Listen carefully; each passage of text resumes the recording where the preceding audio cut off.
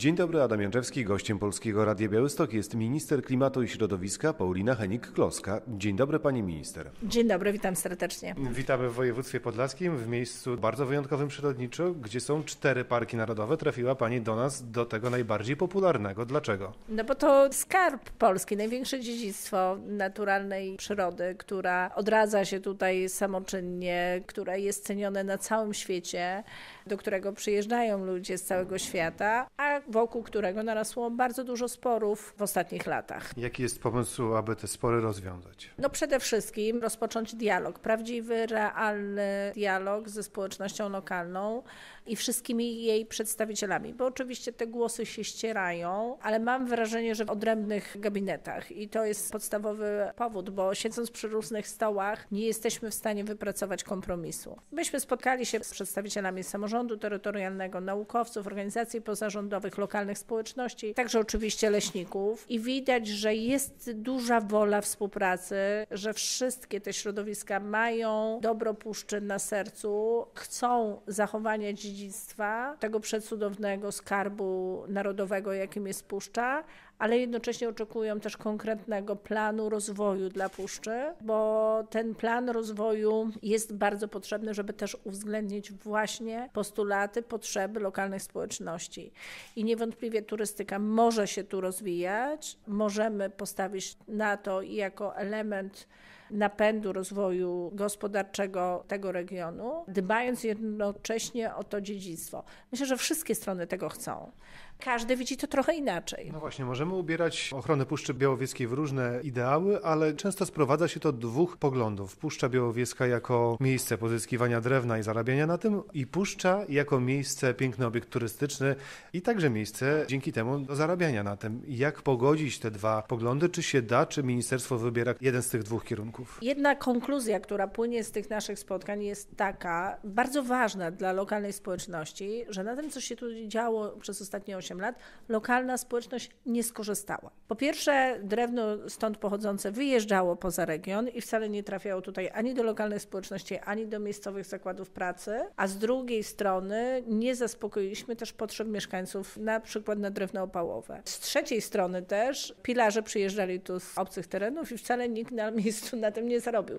Więc jaki jest wniosek? Taki, że na tym, co się działo, poza tym, że wygenerowaliśmy bardzo wiele sporów, konfliktów i w kontekście lokalnym, krajowym i międzynarodowym, to jeszcze nic z tego dla lokalnej społeczności nie wyniknęło. Co jest chyba smutną konstatacją tego wszystkiego. I puenta jest taka, że absolutnie nie ma w ogóle sensu takiej polityki dalej kreować. Mówi Pani o tym dialogu, że w końcu udało się spotkać, połączyć te różne środowiska. Czy to będzie miało jakąś formułę, być może cykliczną, że te środowiska będziecie chcieli od czasu do czasu posadzić przy jednym stole, żeby rozmawiały ze sobą? Na ten moment prowadziliśmy dialog odrębny i właśnie celem, takim następnym krokiem jest to, by wspólnie usiąść do stołu. Oczywiście w atmosferze absolutnego dialogu, tak by nie wyjść, dopóki nie wypracujemy wspólnego stanowiska w sprawie puszczy, bo jeśli puszcza i lokalne społeczności tu nie wypracują kompromisu i wspólnego dialogu, to ciężko, żeby on został uwzględniony przez ministerstwo, rząd i politykę krajową. Więc im szybciej zostanie wypracowane wspólne stanowisko, tym łatwiej będzie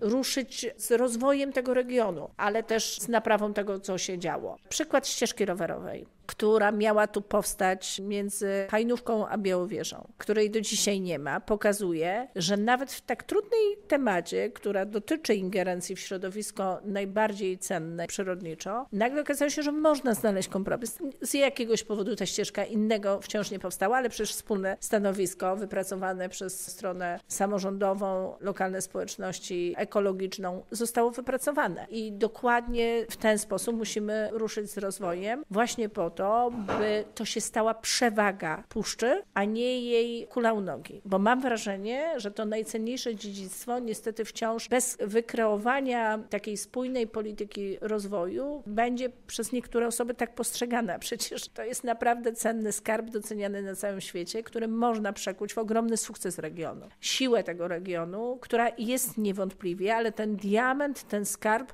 można naprawdę oszlifować, przekazując kolejnym pokoleniom, korzystać z niego tak, by z szacunkiem można było dalej to dziedzictwo pielęgnować.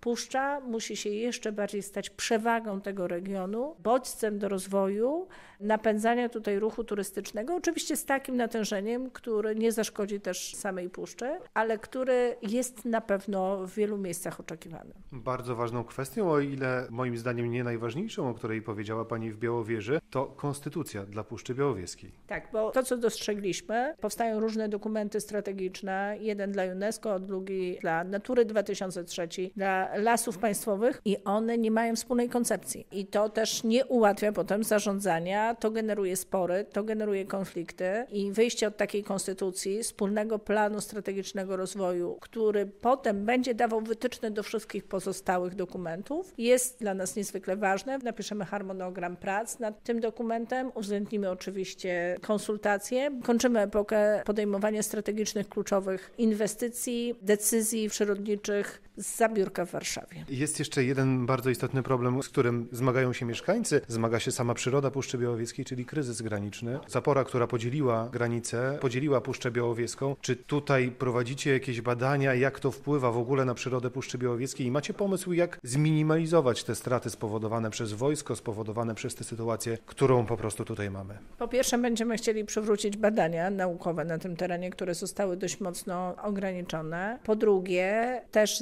zadbać bardziej o dobrostan zwierząt, które są tutaj przez zaporę narażone na dodatkowe niebezpieczeństwo, zabezpieczając przed tym, żebyśmy już nie oglądali żubrów, które plączą się w drutach. I to jest już w fazie uzgodnień, bo to jest obszar oczywiście poza naszymi kompetencjami MSWiA, ale prowadzimy tutaj rozmowy w tym zakresie, by zabezpieczyć lepiej ochronę zwierząt. Natomiast sama zapora musimy mieć świadomość, że z nami pozostanie. Jej oddziaływanie na środowisko przyrodnicze musi się zmniejszyć, a w tym celu należy po prostu przywrócić badania naukowe. Koalicja zapowiadała zwiększenie powierzchni parków narodowych i zwiększenie liczby parków narodowych. Jak to się ma do sytuacji w województwie podlaskim? Będziemy te plany teraz oczywiście kształtować i urządzać, wsłuchując się właśnie w głos różnych środowisk, a potem to konsultować. Jesteśmy w fazie prac nad tym, więc dzisiaj nic konkretnego w tym obszarze nie powiem. Natomiast niewątpliwie Puszcza Białowieska jest jednym z przedmiotów rozważań w tym zakresie. Wiele osób, wielu pracowników też parków narodowych podnosi taką kwestię, że bardzo zaburzone są proporcje w wynagrodzeniach leśników i pracowników parków narodowych. Czy tutaj może coś się w tej kwestii zmienić? Na pewno ta dysproporcja powinna się zmniejszać i to, co mogę ogłosić, to to, że w budżecie, bo wiem, że nie jest to wiedza powszechna, podwyżki dla pracowników parków narodowych też są uwzględnione, tylko w rezerwie, bo nie mogliśmy tego przenieść bezpośrednio na budżet. Natomiast tak, pracownicy parków narodowych dostaną też podwyżkę wynagrodzenia z nowym rokiem. 20%, tak jak dostają przedstawiciele administracji. Dziękuję serdecznie za rozmowę. Dziękuję.